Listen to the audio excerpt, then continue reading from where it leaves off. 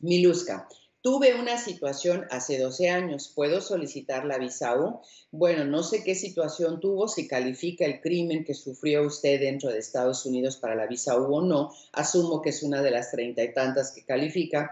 Ahora, si lo dice por lo, lo viejo del delito hace 12 años, yo he logrado obtener la visa U y después la residencia para personas que han sido víctimas de crímenes hace 10, 15 y 20 años.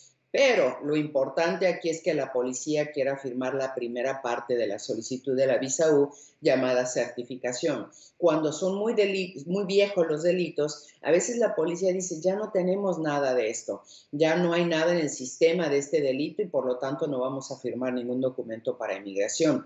A veces si usted tiene la copia del reporte, ayuda y la policía se basa en eso y otras agencias de policía dicen, no, esto puede ser alterado, nosotros queremos nuestros archivos y ya no existen. Entonces es cosa de suerte intentar en su estación de policía ver si le quieren firmar la certificación, aunque sea un delito antiguo.